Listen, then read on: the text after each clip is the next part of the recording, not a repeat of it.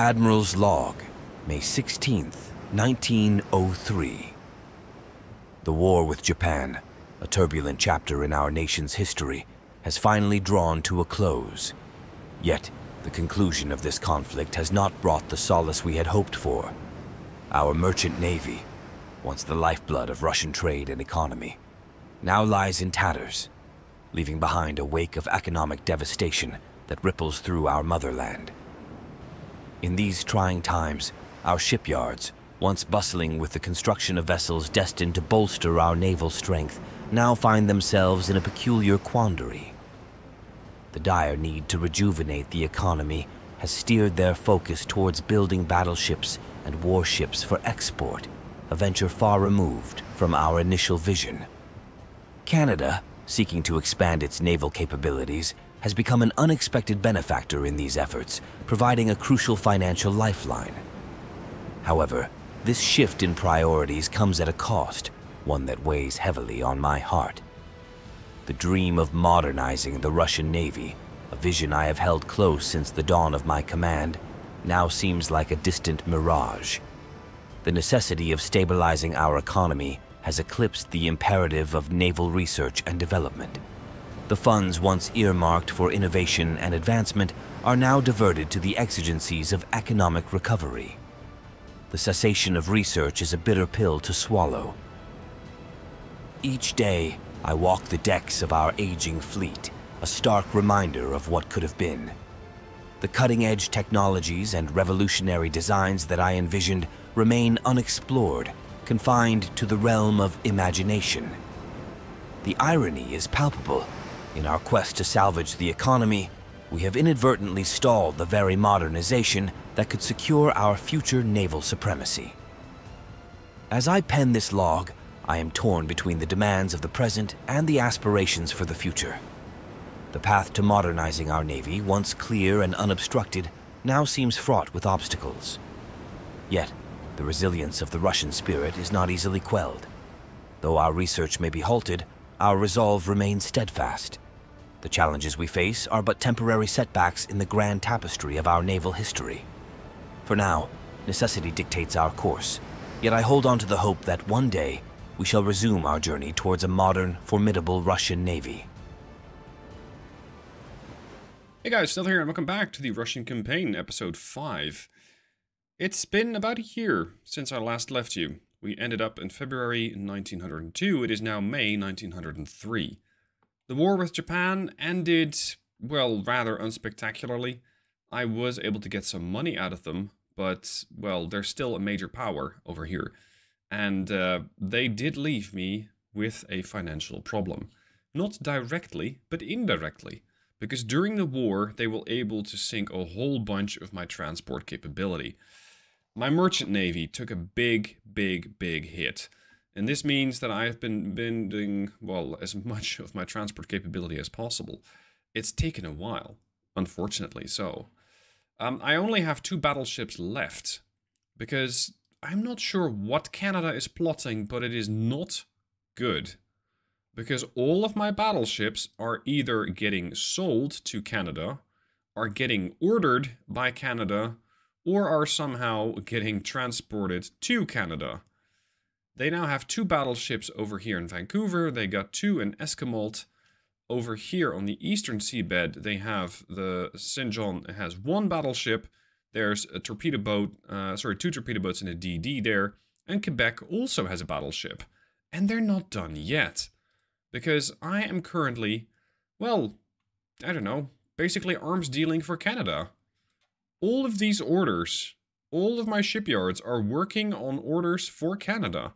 It's a battleship, it's another three battleships, it's two torpedo boats, and it's three heavy cruisers. I'm not sure if Canada is planning to, I don't know, launch an attack against the US Navy. But at this point, I believe they have about eight battleships, which is actually more battleships than the United States. So I'm not sure what Canada's plotting, but I'm really looking forward to seeing exactly how it's going to pay out. Now, over the time, I have not been able to do much beyond try and recover from this economic disaster that happened over here. We still have not regained Kamchatka, which is also a decent chunk of income. And, well, I don't really see a way of getting an invasion here at all. I'm not sure if the game considers southern Siberia to be connected to this peninsula, which is part of Kamchatka. So it's possible that we can walk over, I don't know, some of the 51,000 population from southern Siberia to Kamchatka, but I don't think I'll win. A naval invasion is unlikely because Petropavlovsk is a neutral power, or rather a port of a neutral power, and just parking ships there generally doesn't do anything. So what have I been doing? Well, I've been building battleships for the Canadians, and I've been rebuilding my transport capability. this has been going okay. I'm also working on a little bit of tech. I'm trying not to fall too far behind. And, uh, well, research is not exactly progressing quickly. We can expect a new hull construction upgrade in about 15 years. So that's going to take a while. And I'm hopeful that one ploy is going to be able to get my financials or financial situation back on track. You see, I have been provoking the Austro-Hungarian Empire. Why them? They had the least popular opinion of me. Um, I thought, you know, if I push these guys into a war by increasing tensions, I can get a Cold War. Now, what does that mean? It means that um, over here, at least, I am so far removed from the Austro-Hungarians that it's not likely to impact me at all. Over here in the Black Sea, it is possible that we're going to see some conflict, but again, still rather unlikely because the uh, Austro-Hungarian Navy, which is sizable, they have got battleships, they got torpedo boats, they got a whole load of cruisers. It is possible that they will try and make it to the Black Sea. In such a situation, I'm going to throw out a couple of destroyers, mine the ports, and keep the Black Sea for myself, all the while gaining a whole bunch of money. Because once you go to war, your budget increases by a very substantial margin. So building out a Cold War like this is going to be, at least for now, my hoped for solution to financial worries. There is, however, a cost, because it does mean that at some point I am going to get more unrest, I'm going to get less naval prestige, and if the unrest due to unfavorable wars, well, spirals out of control, I am going to be left potentially with no admiral in office i.e., I will be fired. Now, let's see. At a press conference, you were asked about recent evidence that foreign espionage targets our Navy. There's not a whole lot that they can learn from my Navy. I can ignore the questions for more unrest, or I can refer the matter as constructed rumor for internal political games. Less naval prestige, less unrest. Um, yeah, why not piss off the United States while I'm at it?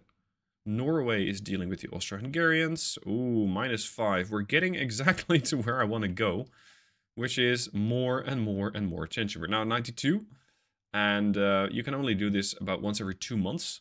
So let's keep ticking these guys off and see what happens.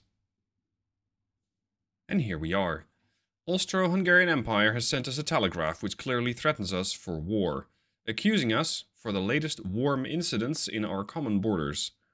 You're going to have to take a map and point out those common borders, and I'll be very interested.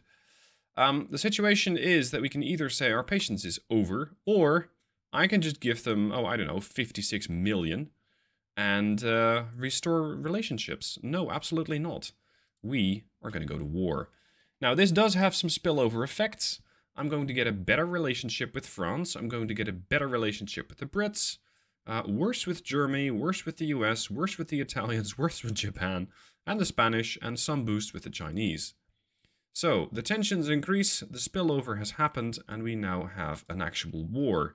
A Cold War, however, as far as I'm concerned, because I now get 35 million a month to play around with. Now, um, I am, as I was looking at the map, somewhat mistaken. We do have a common border, because eastern Poland and to some extent Ukraine border the provinces of Galicia and Hungary. It is possible that at some point the ground forces are going to take a little adventure. I'm not sure what is going to happen because it is something I simply cannot control. if it is possible for my forces to walk over into, I don't know, Bohemia, Moravia, or Galicia, or Hungary, I welcome it. Because conquering one of these provinces is going to give you such a massive economic advantage that you can claw yourself out of any financial gap.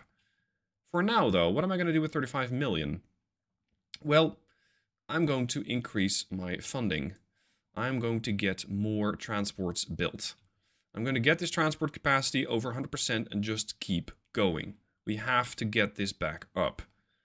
When it comes to crew training, I'll increase it somewhat. Tech budget, again, somewhat, not a whole lot. And I want to start building a couple of new ships. If there's going to be a conflict, it is likely going to be in the Black Sea. So this is the area where I'm going to need more ships. And considering what I can build, I think the Archangels are interesting to have, and potentially a couple of the Zvonkis. Because these DDs have, at least in my book, already proven themselves. And, well, so have the Comrade Cats. These cruisers, especially the Europa, has done exceedingly well. So once I get, let's say, one of these, or maybe two of these, I refit them to the 1900 variants, or potentially a later upgrade. Although, well, I haven't really researched a whole lot, so there's not exactly that many upgrades to be had. I can get some ships in the Black Sea and get a bit more capacity. So let's get a couple of Arkhangelsk. And I want a couple of these Zvonkis. Let's say I want to have another five. We're going to park these in various ports. So let's say Odessa and Sevastopol. These ships are going to take a while to build. I'm going to have one cruiser and three DDs in the port of Odessa. I'm going to have the others. Can I unselect them, please? Thank you. These four I'm holding control as I'm selecting them, by the way. I want to have these four in the port of Sevastopol. So it's going to take a while to get up to more military strength over here. It is not something I really expect to have a problem with. Let's see, is Turkey allied with anybody? Because they do control the Bosporus Strait. And that is definitely a factor in allowing or not allowing ships through here. But I think Turkey is currently not allied with anybody. The Ottoman Empire, as they're currently called, don't seem to hold any particularly warm feelings for any power. This makes them neutral, so they haven't blocked it either. It is possible for the Austro-Hungarian Navy to show up in the Black Sea, and once they do, we're going to give them a warm welcome. Right, so the plan might backfire. I have a few issues. One, the Austro-Hungarian Navy at large is coming to me. Here's their advance party, two light cruisers, two destroyers. And here's their main body, three heavies, well, four heavy cruisers, three battleships, five light cruisers, two destroyers, and 24 torpedo boats. Don't tell the Kamchatka. Um, and there's another 14 heavy cruisers and 5 TBs behind that. Where are they going? Well, I guess they're going sightseeing through the Sea of Japan all the way to the Sea of Okhotsk. Um, yeah, nice. That's one problem. Two is the land forces. See, over here, they're launching an invasion from Bohemia Moravia into eastern Poland. This one mainly seems to be under control, although I have taken some staggering losses. The situation is much more concerning over here. There's not one, but two invasions happening simultaneously. One coming from Galicia, the other one coming from Hungary. I don't have the forces. I simply don't. The defenders over here are getting a little overwhelmed because there's an army force of 256,000 coming from this side, Galicia, and another 384,000 coming from this side. Oh boy, um, this is not exactly what I was hoping for. So what can I do? Can I go to peace? Um, no, actually, I can't. I cannot sign a peace treaty because I think there hasn't been an actual conflict, believe it or not. The way that the game registers it is there's no victory point exchange, nothing. So nothing actually seems to have happened. So I'm trying to provoke some sort of a conflict. It's a minor task force, it's just five ships. they are here to sea control. Um, they're here to try and provoke some conflict with whatever the Austro-Hungarians have left. Um, I'd love it if the 25 light cruisers from here would show up. That'd be a fun fight. But so far, we're just waiting and nothing is happening.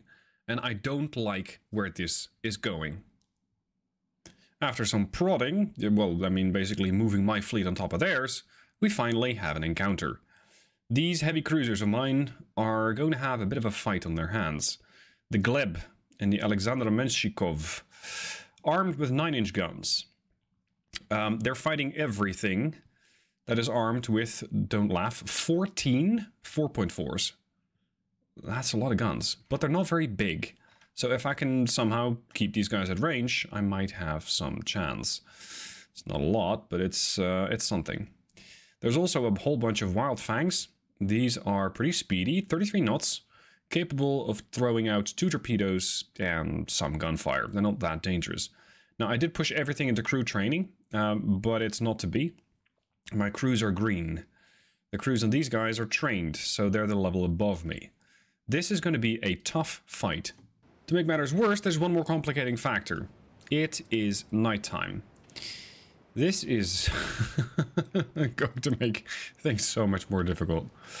Um, the nighttime accuracy is minus 34%. It also means detecting things is generally impossible. I don't have radar. Um, it's 1904. We're going to be using the Mark 1 eyeball and hoping that we'll be able to take a couple of shots at these things before they just swarm me. Because that's what I think will happen. And when they swarm me, they'll also be in torpedo range. I don't like either element. Um, it's going to be a really tough fight. Amusingly, I cannot see the Austro-Hungarian fleet, but I can hear them all crashing into each other. oh, and they're all smoking up at the same time. Look at that. That is a lot of ships. Um, because of all the smoke, they have lost line of sight to me because of their own smoke screens. Okay, this is funny. Um, yeah, they're like two and a half clicks out. It's nighttime and they're smoking up. I cannot see anything. Uh, it's like fighting in the dark. But worse. Because normally the enemy is at least going to be something that you can point a gun at. Right now, I just... Well, I can see a smoke screen. And that's basically it. Here we go. Tar... No. Target? No? No target? It's like not even the game knows what it's doing, because sometimes it goes, yeah, no, there's a target out there. Um, it just pops into view, and then it doesn't. I know the torpedo range is about three, so I gotta be careful here. What I'm relying on, mostly, is the armor on these cruisers. Because these guys are pretty well armored. But, you know, extensive fire overwhelm is an extreme risk. And it might strike all of these ships. Because you can have all the armor in the world, and if the enemy has all the 4-inchers in the world with high explosive ammunition, well, soon your armor is going to be irrelevant. It's not like you won't have any armor, it's just that it won't really do anything. Contact again. It looks like the smoke screens are about to run out.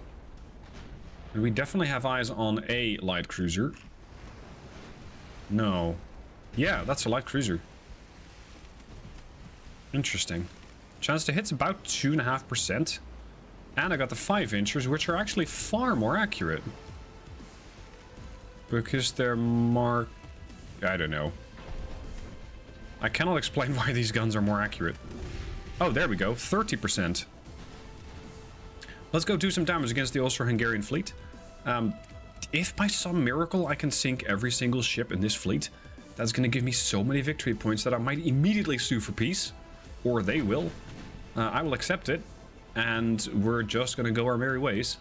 Me having mostly restored my merchant fleet. And with that, I have a lot more income. And I might be able to prevent the invasion you know, the land invasion that's part of the game, but you still cannot do anything about that one. First, though, we're going to have to focus on not getting torpedoed. The problem is, these guys have torpedo ranges of 3. 3.3, actually. I think they have bigger... Oh, sorry, that's 5.1? Never mind. Their torpedoes have gotten a lot better. Oh, sorry. No, I was confused with the Japanese. I'm fighting the Austro-Hungarians. I know nothing about the Austro-Hungarian capabilities yet. Either way, um, generally very dangerous, and more so because it's a night battle, because you simply don't see the torpedoes coming your way. They're there. Trust me, they're there. You just don't see them until they are right on top of you, and they cause a merry explosion. There's another DD. I think we might have to make use of that mechanic where we, you know, accidentally hit something that happens to be in the way.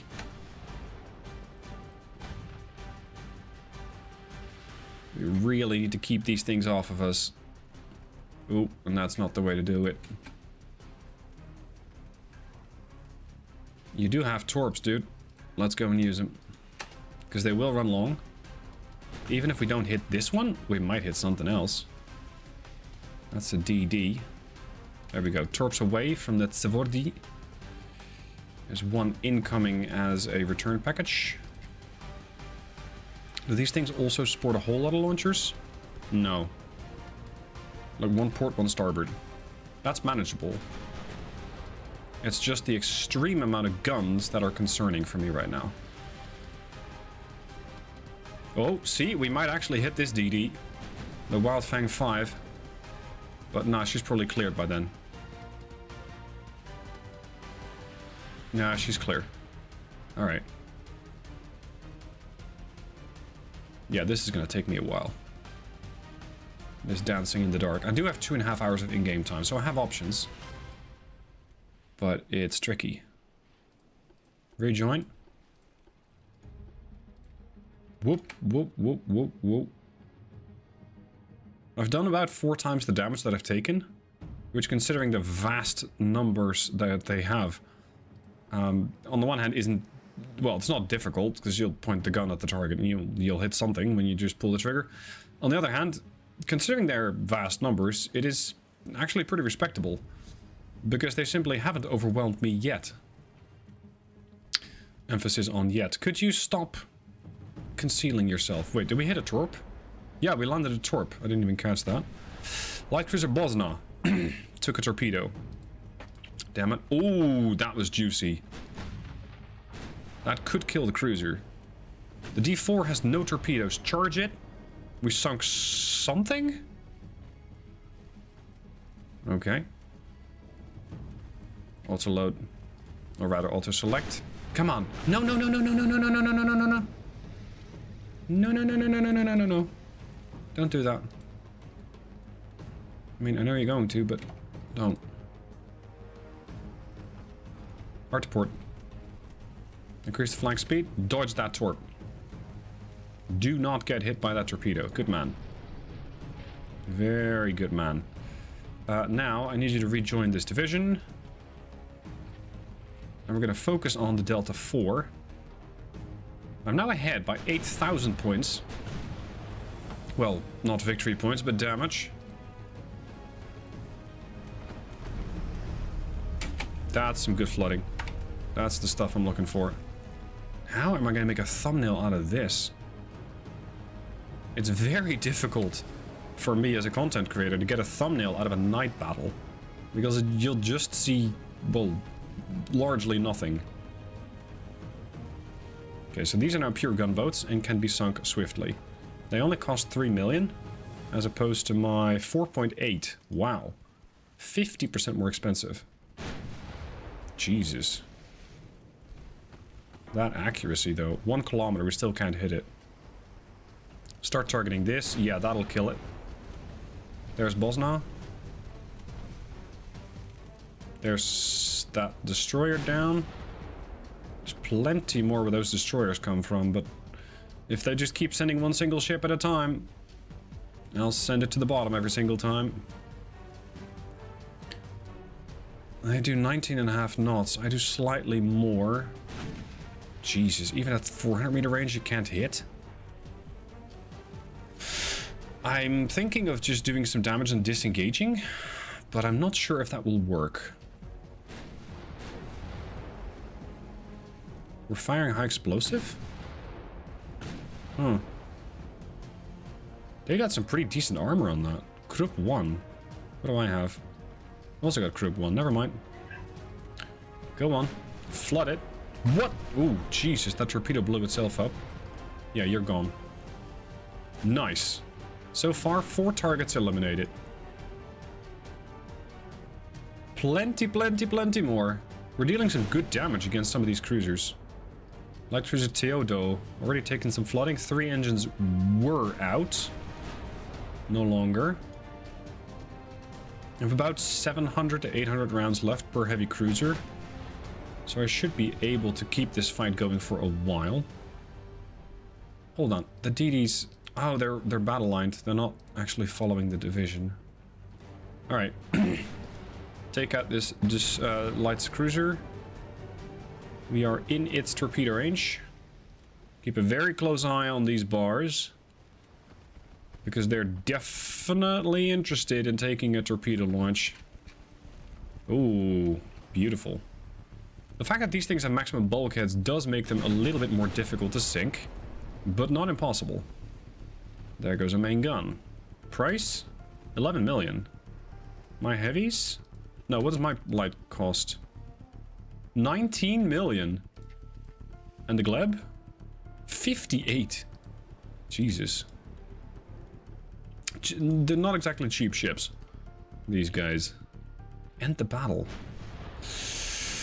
Tempting, but no, not yet. I feel we can still do a lot more than just this. Here comes the next wave. That looks like another CL. No, that's a DD. Or a torpedo boat. No, that's a DD. Alright. Don't get too close to these guys, because they will mess you up. So far, I've done 63,000 points of damage versus 1,400 damage taken. These cruisers and destroyers, let's not discount the DDs, because the Tvorji did 60, no, yeah, 6.9k damage with a torpedo and her main guns. These destroyers are not exactly my favorite, um, but they pack a lot of firepower with those 5.1s. And it's coming in extremely useful right about now. Yep, that's kind of what I was expecting. And I think I might not be able to dodge that.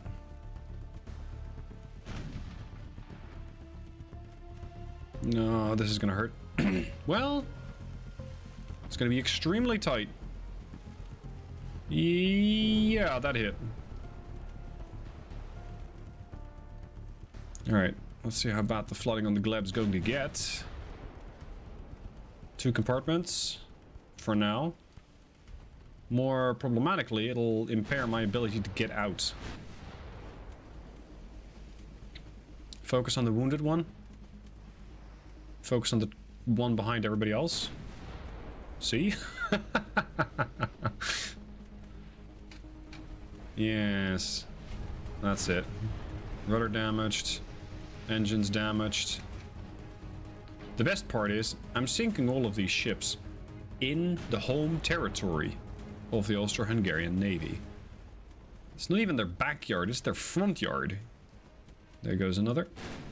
No, wait, that was not the D2. There goes the D2. Good damage on whatever that is. Switch to the satellite. See, now they're going to start setting me on fire. This is where it gets dangerous. Because this is when I'm inside of range of those 4.1s. And not just a few. But it's the guns from the satellite, the Gamma, and whatever else they got over there. That's a lot of gunpowder.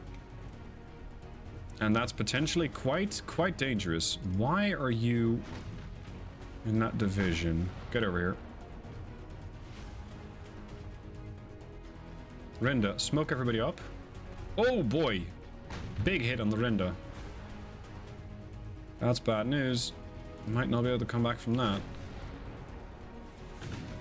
I can lose one light cruiser, though, in exchange for, like, 10 of theirs. Come on, get some damage in.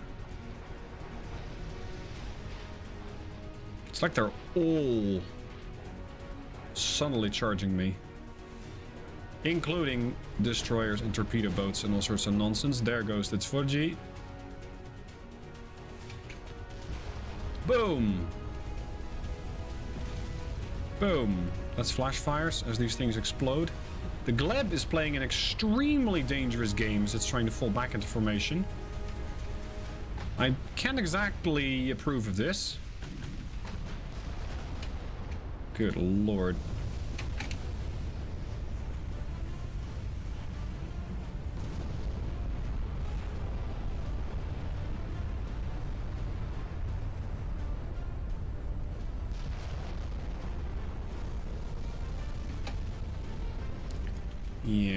To re-engineer those things.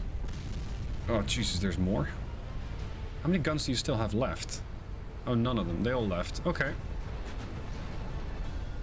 I'm not sure why the D7 is not launching against me. Arguably it should, but it's targeting this this heavy cruiser. Idiot. Oh, the Delta 9 got in the way. Sucks to be you. Switch fire. New target is Gamma. I have lost both of my DDs in spectacular fashion.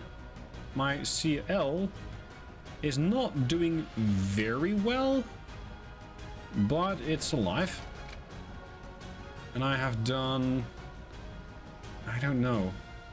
I've done a lot of damage, but I'm not sure how many ships I've actually eliminated. You're probably going to have flooding issues. Come on. We can get a lot of things out of this battle. yeah, satellite's gone. Switch to Sava. Ooh, Gleb dodged the torp. Not because of anything I did. This is going to be one big artificial reef at this point. Switch to Phogos. Flooding on the Gamma. Can I just try and disengage this CL? Even at what, 6 knots? 10 knots. 10 knots is acceptable. Zrinyi and Tun are going down. Jeez, it's one big cluster. It's like a light cruiser trimaran at this point. What are you doing? I shoot this, I hit the other two. Watch. Oh, I'm running out of AP shells here. No, I'm running out of HE shells? Why are we even shooting with HE? Does not make a whole lot of sense. Gleb's loading her guns.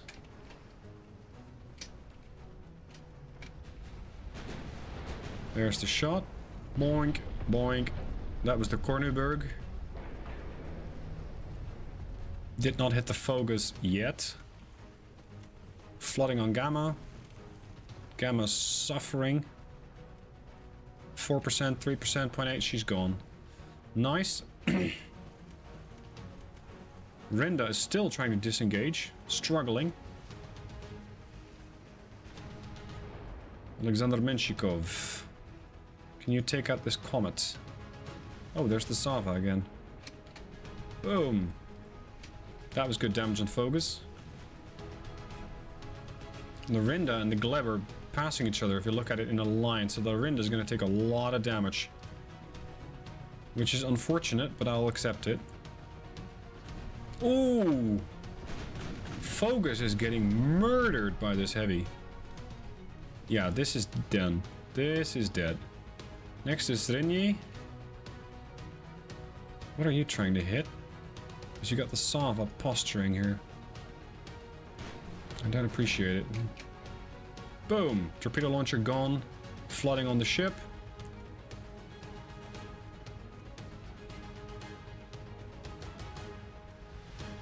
This is going to be such a crazy win for me. Probably tens of thousands of victory points. Sava. Taking some damage. I'm keeping a very close eye on the Sava and her torpedo launchers. Zrinyi, suffering, might go down. yeah, there she goes. Switch, Korneberg. Ooh, Sava. That's excellent. Alexander Menshikov has done 50,000 points of damage. The Gleb 48,000. These heavy cruisers, well, I've changed my mind about them. Initially, I thought they were pretty bad. I no longer think that. Oh. Yeah, target the Sava. You also target the Sava. Sava, target the one behind. That's the objective. Because you'll sink the one in front. There she goes. Comet taking flooding. Boom! Boom! And now we get two cruisers for the price of one, pretty much. There she goes. Once I've sunk these, I'll call it a day. I will disengage. And I will get my ships back to port for repairs. Oh, you're done. I think my crews are going to get a ton of experience out of this one as well. Go on. Yeah, that's a bit of flooding. That's more flooding. She's probably dead. Damage done. The 5 inchers did 65,000 points of damage. That's more than the 9s. That's really impressive. It also, however, includes the 5 inch guns on the DDs. So when it comes to the Gleb... Yeah, look at that. The 5 inchers did twice the damage compared to the 9s. Here, not so much. End the battle. Damn, this was a good fight. 25,000 victory points versus 1,600.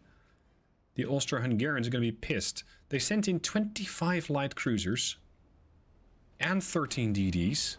So we're looking at 38 ships and then one torpedo boat. So they sent in 39 and they lost 19. Damn.